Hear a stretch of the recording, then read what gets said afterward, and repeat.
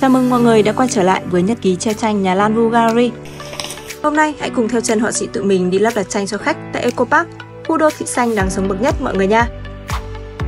Anh chị khách của tụi mình lần này đã chọn xuống xa trung tâm Hà Nội một chút để tận hưởng không khí an lành trong căn biệt thự Eco Park kết nối tối đa với cảnh quan xung quanh. Ấm của gia chủ là một không gian mở có rất nhiều cây xanh, giải pháp đón ánh sáng tự nhiên đã đưa cuộc sống của gia đình gần gũi nhất với thiên nhiên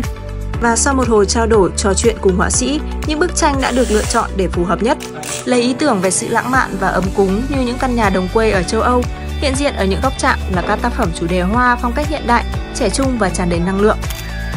Những góc nghệ thuật ấn tượng này được chúng tôi yêu ái gọi bằng cái tên góc chạm bởi đó là nơi chỉ cần đặt một bức tranh về đúng vị trí với một chút ánh sáng vàng dịu nhẹ cũng đủ để chạm tới cảm xúc. Cuối cùng, việc của bạn là chỉ cần ngắm nhìn thành quả thường lãm những xúc cảm dường như đã bị cuộc sống áp lực dần lãng quên. Còn việc tạo nên thật nhiều góc chạm, hay cứ để họa sĩ và đội ngũ lắp đặt nhà Landru Gallery lo hết nha.